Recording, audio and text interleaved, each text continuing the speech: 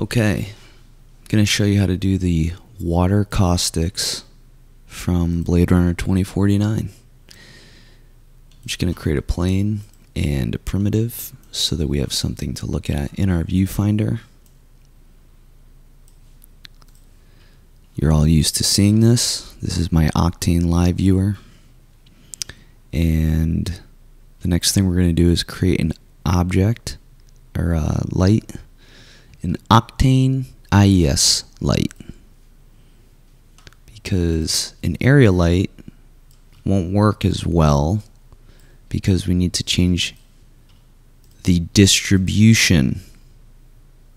And what we're going to change the distribution with is on Google, you're just going to Google water caustic map and pick any one that's black and white. You can try all different ones. You can have high res ones.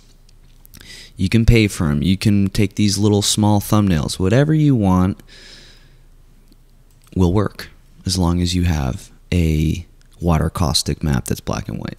So anyway, in the distribution, we're going to load the file that we saved from Google. Boom. See? It's in there. Now you're looking at the live viewer and it, it doesn't look right. Well, we have to change a few things. Firstly, we have to make the light smaller. That's how specular and diffuse light works. Let's turn an HDRI map on so we can see what we're doing. When the light's big, the shadows are very diffuse, so it becomes hard to see what's happening. When you make it small, light becomes specular, it's very easy to see the edge of shadows. So now, with the shadows visible nicely how we want them so far, you increase the power of the light. You don't make the light bigger, you increase the power of the light. That way you can find a really nice balance. And basically you're done. This is it. That's all you had to do. And now it's all about finesse. You can art direct how you want this image to be. So like if we go into our cube and we're looking at it, you know, you're composing your shot. Um, under your light, go into the node editor. Right, there's already going to be these th parameters here that you can change, but the one that's going to be the most meaningful to you is adding a transform node. So transform, we added it, we hooked it up to the transform.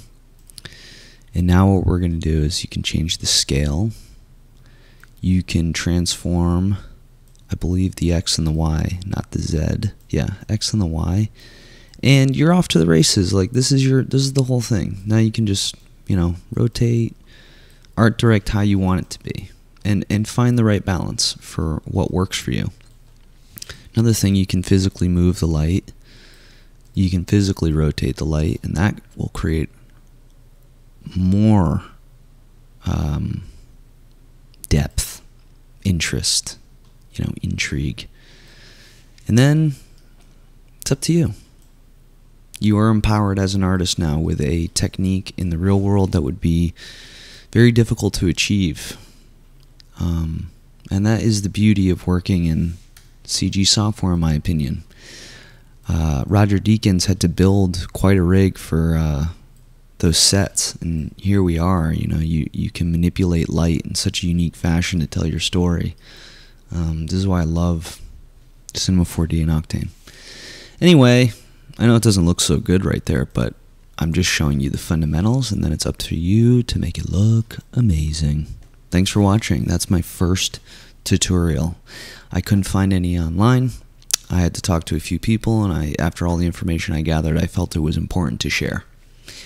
Take care.